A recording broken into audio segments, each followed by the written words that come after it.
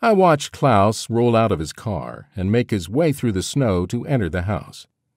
The moment he disappeared inside, I climbed out of the GTO and started toward the back door of the creepy place. Coming in through the kitchen door, gun in one hand and a big six cell mag light in the other, I moved through the kitchen and entered a long, dark hall which led to the living room. Stepping into the living room, I heard a squeak of flooring behind me.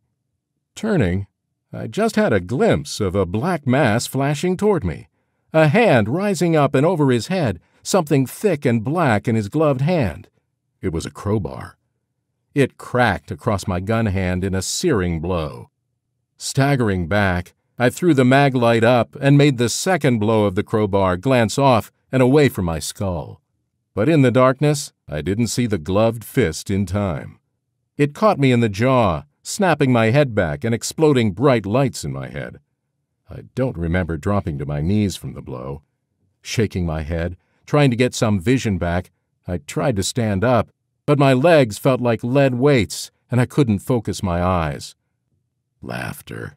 I heard laughter, that of a madman's, and then through the pain, boom, boom, the ringing explosions of a 9 millimeter Glock exploding in two rapid shots directly behind me.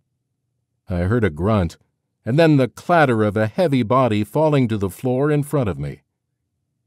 When I opened my eyes and blinked, I found myself in a sitting position, braced in a sitting position by the snow shovel sized paw of Frank kneeling beside me. You okay, Turn? Never mind. Stay still. Got an ambulance crew on the way. And don't move that right arm of yours. Damn it, boy, but you look like hell. I was happy to be alive.